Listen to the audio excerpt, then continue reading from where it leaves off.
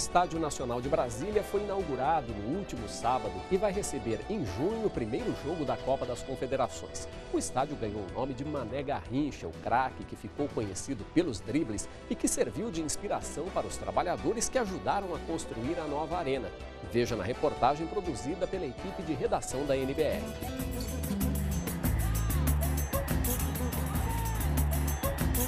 Garrincha foi considerado um craque. Brilhou no Maracanã,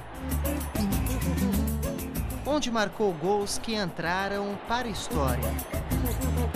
A vida do jogador virou filme, deu nome ao Estádio Nacional de Brasília, o Mané Garrincha fundado em 1974, tinha capacidade para 45 mil pessoas, público que passa a ser de 72 mil espectadores para os grandes eventos que o Brasil vai sediar.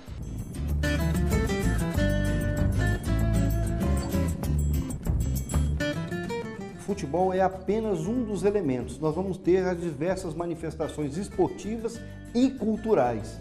Você tanto pode ter um basquete, um vôlei, é, como vai poder ter shows, ópera. É uma arena multiuso que tem essa característica de ter as arquibancadas muito próximas ao, ao gramado, à arena, né?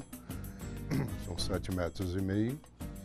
E com isso traz uma aproximação muito maior do ponto de vista até psicológico do público com o espetáculo. Para colocar esta arena em pé, quase três anos foram necessários. Até 6 mil operários trabalharam no estádio. Alguns mudaram a vida.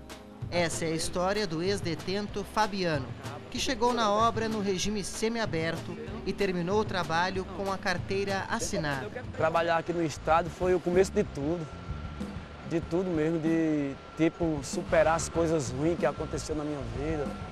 Muita tristeza. Depois que eu vim trabalhar aqui, 90% da minha vida mudou.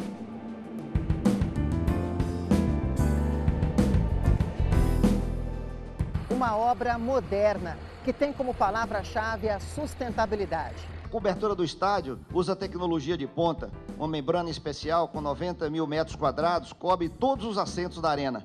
Essa membrana é autolimpante, permite a passagem de luz natural, retira a poluição do ar retém o calor e reflete os raios ultravioletas. O Estádio Nacional Mané Garrincha teve um custo de mais de um bilhão de reais. O financiamento do governo federal via Banco Nacional de Desenvolvimento Econômico e Social, o BNDES, foi de 400 milhões de reais. A arena vai ser o palco da abertura da Copa das Confederações em junho com o jogo Brasil e Japão. Já para 2014, vão rolar no estádio sete partidas da Copa do Mundo. É também um pouco de uma raça que não tem medo de fumaça.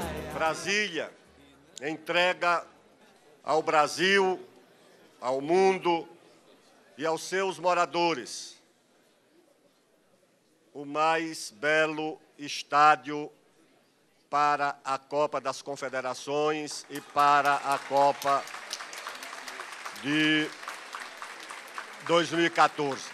Nós receberemos com um padrão de qualidade, eu asseguro a vocês, de alto nível na, do, nas 12 cidades da Copa. E acredito que faremos a melhor Copa de todos os tempos. Para mim é uma, é uma, satisfação imensa ter mostrar aqui para você a situação que está hoje, a inauguração. Para que eu entrei aqui, estava tudo na lama, aqui tudo na fundação. Hoje para mim é uma maravilha. Aprendi de tudo um pouco, quase tudo.